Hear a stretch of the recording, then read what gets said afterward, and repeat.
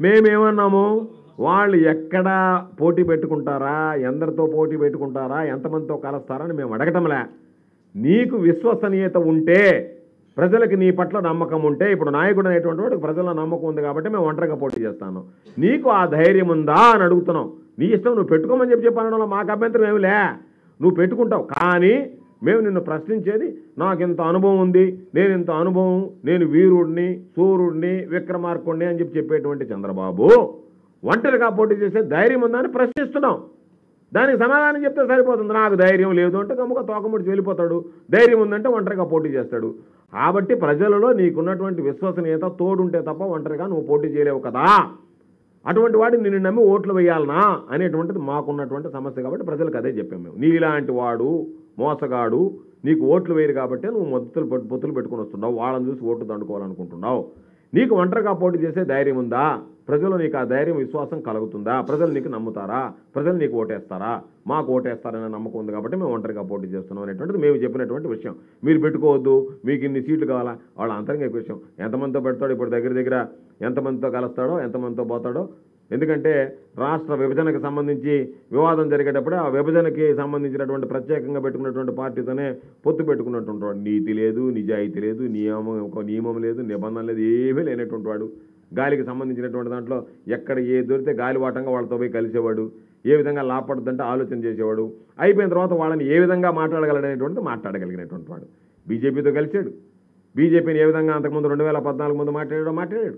మళ్ళీ కలిశాడు. రెండు వేల పంతొమ్మిదిలోనే ధర్మ పోరాట దీక్షలు అని చెప్పి చెప్పెట్టి ఢిల్లీ దాకా నరేంద్ర మోడీ దగ్గర ఏ వదిలిపెట్టాడు మళ్ళీ పోయి చంకనాకుతున్నాడు ఏదైనా చేయగలడు కాబట్టి నాయన నువ్వు ఏదైనా మాట్లాడగలవు అవసరమైతే చంకనాకగలవు కాళ్ళు పట్టుకోగలవు గడ్డాలు పట్టుకోగలవు బతినాడగలవు నీ పరిస్థితి అది. కాబట్టి రాజకీయాల్లో నువ్వు ఉండేటువంటి హీనస్థితమైనటువంటి వాడివి నువ్వు. కాబట్టి అంత హీనుడివైనటువంటి నువ్వు ప్రజల్లో ఉండడానికి అర్హుడు కాదు. మేము ఆ పనులు చేయలేదు కాబట్టి ధైర్యంగా ఒంటరిగా పోతున్నాం. నీలాగా నీచుడు కాదు హీనుడు కాదు. కాబట్టి మాకు ఆ ధైర్యం దమ్ము నీకుందా అని అడిగాం. దాని మీద సమాధానం చెప్పండి. చెప్పలేనటువంటి పరిస్థితిలో ఉన్నాడు పాపం చంద్రబాబు చంద్రబాబు నాయుడికి మీరు చెప్తున్నారా ప్రశ్నించడానికి పుట్టిన పవన్ కళ్యాణ్ ఎవరు చంద్రబాబు నాయుడిని ఆయన ప్రశ్నించడానికి పుట్టినటువంటి పవన్ కళ్యాణ్ అసలు పోటీ చేయకుండానే మద్దతు ఇచ్చాడు. రెండు వేల పద్నాలుగు రెండు వేల పంతొమ్మిదిలో కొన్ని సీట్లు పోటీ చేశాడు. మేము ఎవరినైనా సరే అడిగేటువంటి మాట అసలు ఇటువంటి వాళ్ళు ఏది మీరు నన్ను అవమానపరుస్తున్నారు అటువంటి వాళ్ళందరిని అడిగి? ఎమ్మెల్యేగా పోటీ చేసి రెండు దగ్గర ఓడిపోయినటువంటి వ్యక్తుల గురించి రెండు సార్లు ఎమ్మెల్యే అయినటువంటి వాడిని నేను స్పందించడం ఏంది? అటువంటి వ్యక్తుల గురించి అసలు ఆలోచన చేసేది ఏంది? చంద్రబాబు నాయుడు పొత్తుల్లో భాగంగా అటువంటి వాడిని పిలుచుకొచ్చుకొని ఏదో ఊరేగాలని అటువంటి ఆలోచన చేయడం తప్ప మాకు అడుగుతున్నాడు ఏమంటున్నాడు? ఏమడుగుతున్నాడు? ఏమడుగుతున్నాడు సీఎం గారు? దత్తపుత్రుడితో కలిసామంటున్నాడు. We never bothered Pawan Kalyan అనేటువంటి వాడిని రాజకీయ నాయకుడుగా కనీసం ఊహించడంలా. కానీ నువ్వు అటువంటి వాళ్ళతో కలిసి మాట్లాడుతున్నావు మాట్లాడిస్తున్నావు అని చెప్తున్నాను తప్ప మీరు అడిగినటువంటిది ఏంది? ఆయన్ని మీరు ప్రశ్నిస్తారా? ఆయన స్పందిస్తారంటే ఆయన్ని ప్రశ్నించాల్సినటువంటి పరిస్థితులు ఆయన చేసేటువంటి వ్యధ వేషాలను బయటపెడుతున్నాం. ఇదిగో ఈ విధంగా ఉంది. ఈ విధంగా వ్యధ వేషాలు వేస్తున్నాడు కాబట్టి ఇదిగో నువ్వు అందరితో కలిపి మామూలుగా ఒక పద్ధతి ప్రకారం వస్తున్నావు అని చెప్పి చెప్పి మాట్లాడుతున్నాం తప్ప మేము మాట్లాడేటువంటి విషయం అతను చేసినటువంటి వెధవ పనులు ప్రశ్నిస్తున్నాం తప్ప ఆయన చేసేటువంటి పనులు ఆయనతో ఉండేటువంటి పొత్తులు ఆయన ఒక రాజకీయ పార్టీగా గుర్తించడం ఆయన రాజకీయ నాయకుడిగా గుర్తించడం కాదు. ఆయన చేసేటువంటి పనులు మామూలుగా సాధారణంగా తోలుబొమ్మలాటలో కేతిగాడలాగా పనిచేస్తున్నాడు కాబట్టి ఒక జోకర్ లాగా ఉన్నాడు కాబట్టి ఈ జోకర్ క్యారెక్టర్ ఇదే అని చెప్పి చెప్పి ఎత్తి చూపిస్తున్నాం అంటే మీరు దృష్టిలోనే పెట్టుకోలేదు అయితే? పెట్టుకోం. ఎవరిని?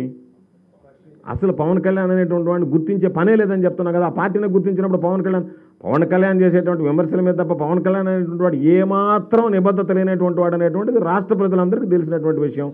ఎన్నిసార్లు పార్టీలు పెట్టారు ఎన్నిసార్లు పార్టీల్లో కలిపి ఆ రోజు బ్రహ్మాండమైనటువంటి మాటలు మాట్లాడాడు ఎవరితో పోయి కలిశాడు ఎన్ని తెలిసినటువంటి విషయాలు. కాబట్టి స్థాయి లేనటువంటి వ్యక్తుల గురించి పెద్దగా మాట్లాడాల్సినటువంటి అవసరం లేదనేటువంటి భావన.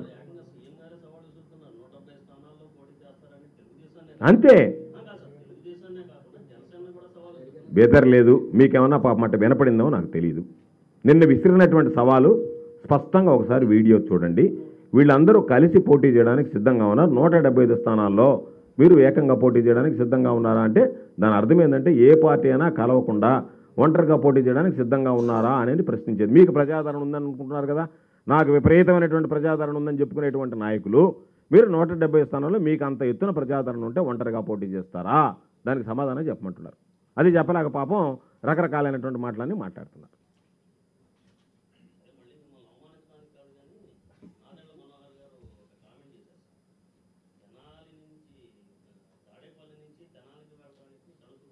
ఏండి నేను ఒక మాట చెప్తాను.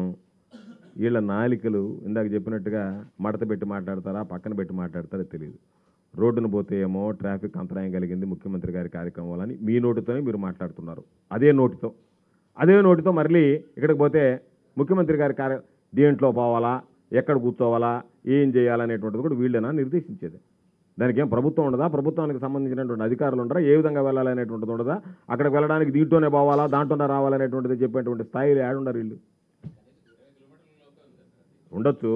ఇరవై కిలోమీటర్ల పోవాలంటే ట్రాఫిక్ తాము రాదండి. ముఖ్యమంత్రి గారు వెళ్ళేటప్పుడు భద్రత మామూలుగా ఎంత ఎంత మ్యాన్ డిప్లాయ్ చేయాలా? ఎంతమందిని పెట్టుకోవాల్సి వస్తుంది చెప్పండి. ఆలోచన చేయండి. ఒక మనిషిగా మీరు ఆలోచన చేయండి. ఒక వ్యక్తి అనేటువంటి వాడు వీఐపీగా ఉండేటువంటి ముఖ్యమంత్రి గారు వెళ్ళాలంటే ఎంత భద్రత ఉంటుంది? దారి పొడిగేత ఎంత ఇది పెడతారు? దానికన్నా ఇది సింపుల్గా పోయేటటువంటి దాని గురించి మాట్లాడడం అనేటువంటిది అసలు మనం డిస్కస్ చేయడమే అసహ్యమైనటువంటిది అది. సరేలే. ఇప్పుడు చంద్రబాబు నాయుడు హేమలు ఎంత రోడ్లు ఖర్చు పెట్టాడు ఇప్పుడు ఎంత రోడ్లు ఖర్చు పెట్టాడు చెప్పొచ్చు. ఏదైనా మాట్లాడతారు. అదే నేను చెప్పేది. ఏమాత్రం లేనటువంటి విలువ లేనటువంటి వాళ్ళందరూ తెలిస్తే ఇదే ఇటువంటి మాటలే మాట్లాడతారు. విలువ లేని మాటలు. విలువ లేని వ్యక్తులు విలువ లేని మాటలు తప్ప విలువైనటువంటి మాటలు ఏం మాట్లాడతారు? అంతా ఇచ్చాము. ఏదైతే డిస్ప్యూట్ ఉన్నదో ఆ డిస్ప్యూట్ ఉన్నటువంటివి కూడా చంద్ర జగన్మోహన్ రెడ్డి గారు మొన్న ఓ సమావేశం ఏర్పాటు చేసి దాంట్లో ఇచ్చాం. కాకపోతే వీళ్ళ దగ్గర ఉన్నటువంటిది డిస్క్రిపెన్సీస్ కొన్ని వచ్చినటువంటి దగ్గర ఆగాయప్పుడు వాటికి సంబంధించి కూడా మొన్న ఇవ్వాల్సినంత వరకు మొత్తం క్లియర్ చేసి ఇచ్చేసాం. వీడియో కాన్ఫరెన్సింగ్ ద్వారా అందరికీ చెప్పి